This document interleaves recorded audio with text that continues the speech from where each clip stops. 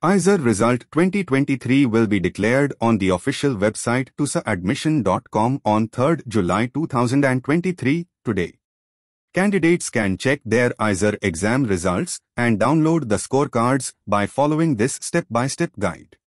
Step 1. Candidates must visit the official website IISER Admission. In Step 2. On the homepage, click on the IISER Aptitude Test Result 2023 link. Step 3. Enter the IISER login credentials like email ID and password. Step 4. Check the details mentioned in the IISER Result 2023. Step 5. Download the scorecard and take a printout of the scorecard for your future reference. Candidates can find the following details on the IISER Entrance Exam Scorecard.